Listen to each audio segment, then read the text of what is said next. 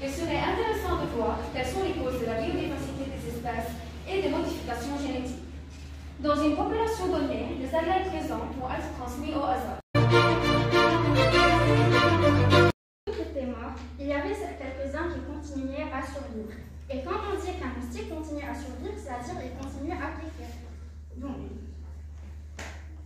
Ici, c'est un exemple euh, de quelques insecticides. On a quelque chose qui s'appelle le DDT en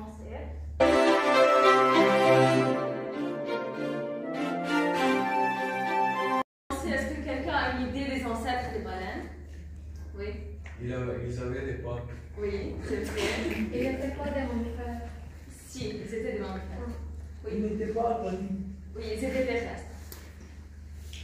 Euh, les baleines, les ancêtres des baleines que nous connaissons aujourd'hui est un groupe de mammifères terrestres à quatre pattes, entre temps de multiples adaptations et de multiples mutations.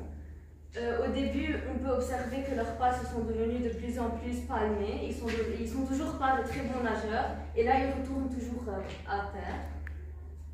Puis avec le temps, ils utilisaient leur queue de plus en plus comme moyen de propulsion, et là, ils ne revenaient plus du tout sur Terre.